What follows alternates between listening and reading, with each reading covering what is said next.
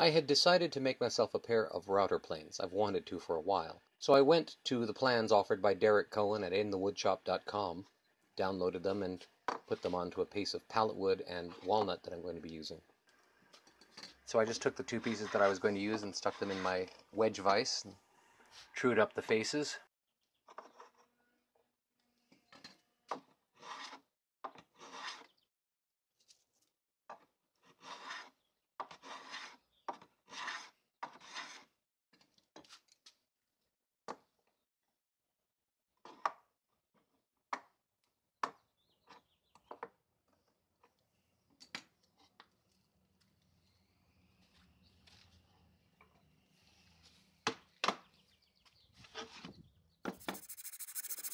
and then I started cutting out the complex curves with a coping saw.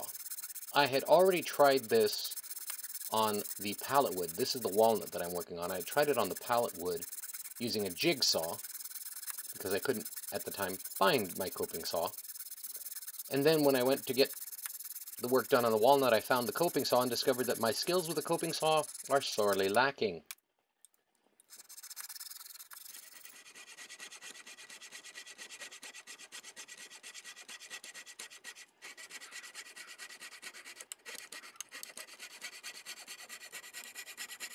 There's a lot of rough edges to that uh, cutting and so I took a very cheap improperly sharpened gouge.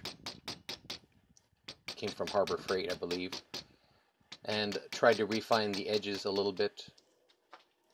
And then on the interior curves which I had tried with the jigsaw and then with other implements before I decided that I was going to auger out the holes but my auger was dull beyond repair. It's a very old auger.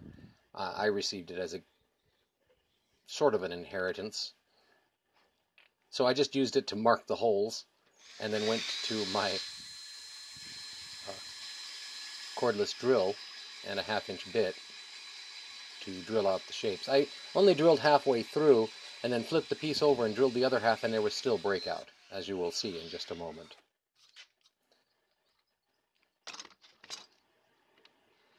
I also had to stabilize that piece of walnut with some epoxy because there were some checks and cracks. So there are the two pieces, and you can see the pallet wood one, horrible, horrible job of cutting out the handles. So I decided to use a template with an actual circle on it to draw out what I needed to cut, and then use the coping saw and a variety of other materials to get a better shape. It still wasn't as good as I'd wanted it but it's certainly better on the walnut than it is on the pallet wood. I had started building these with the intention of putting them up uh, for the uh, tool make competitions, both with Mitch Peacock and with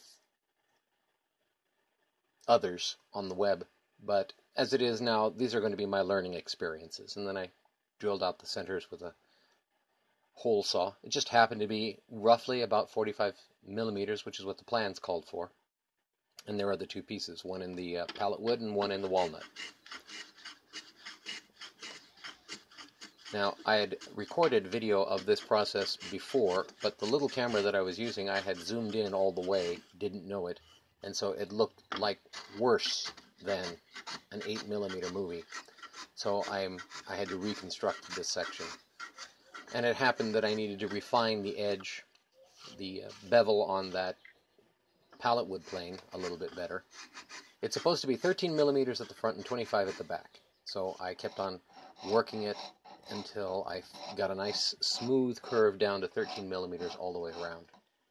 Then I used a rasp to try to better refine and define the interior curves and get rid of saw marks and other vestiges of my ill-fated attempt to cut this out with a jigsaw. The pallet wood one was never very good. You can always tell it because it's got a hole right there near the uh, near that top edge. And then because of the need to stabilize the walnut, I ended up having to reverse the, the face that was going to be against the wood. Originally that was already planed, smooth and flat. And then some checking that had uh, that I thought I had stabilized brought up a problem, and so I flipped it over to true up the bottom half of the edge. This was originally going to be one of the curved sides. Once I got this all trued up, then I was able to curve the front of the walnut so that it matches the plans and the pallet wood design. And here I'm using uh, round rasps, sandpaper wrapped around one of my bench dogs, and a variety of other means to smooth up the walnut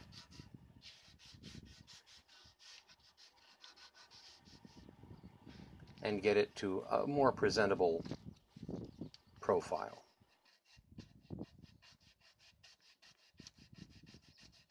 And I sanded on a little bit of a chamfer across the back to protect the edges.